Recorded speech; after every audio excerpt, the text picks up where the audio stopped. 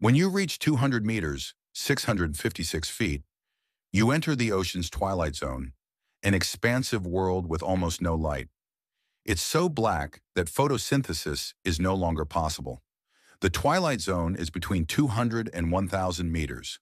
The record for the deepest dive by a human? 332 meters, 1,090 feet. Beyond this twilight region, at depths of 1,000 meters, 3,280 feet, you enter eternal darkness. This is the midnight zone, an expansive world that leads down to abyssal plains. These are reached at a depth of 4,000 meters, 13,000 feet. But it doesn't stop there. Next comes the Hadal zone at 6,000 meters, 19,000 feet.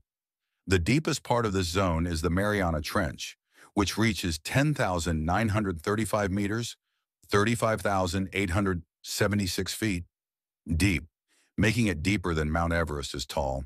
Respected YouTube family, please like, share, and subscribe to my YouTube channel and press the bell icon for more videos.